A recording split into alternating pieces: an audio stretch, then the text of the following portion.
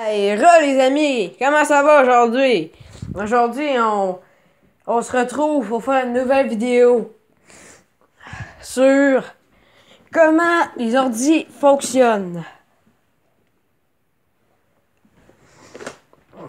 J'ai toutes mes pièces là-dedans.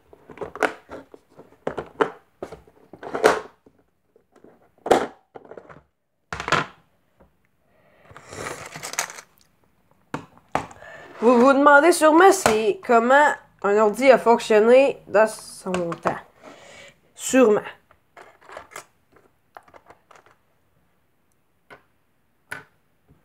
Voici une des premières pièces dont l'ordi a besoin.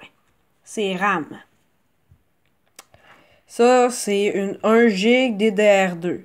Ça veut dire que ça change le nombre de plugs. Ça, c'est une 2 RAM DDR2. C'est la même chose. Ça allait dans mon vieil ordi, que d'ailleurs j'ai jeté.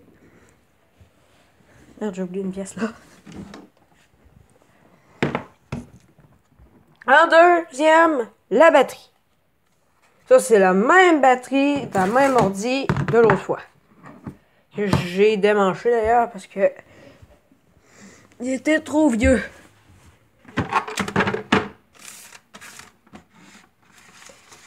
Et même certains de ces ordi ont ça, un lecteur DVD. Mais c'est pas, c'en est pas, c'est les pas toutes.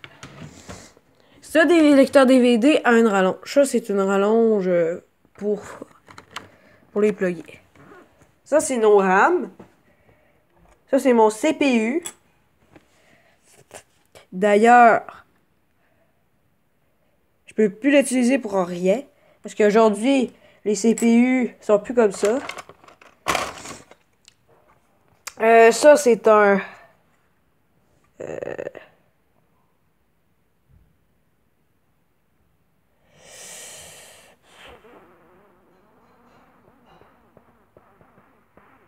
ça, c'est un disque dur 220, 320 GB. Donc... Euh, il est pas mal plus grand que celui-là que j'avais à mon ancien euh, chez nous. C'est quoi ça? Euh,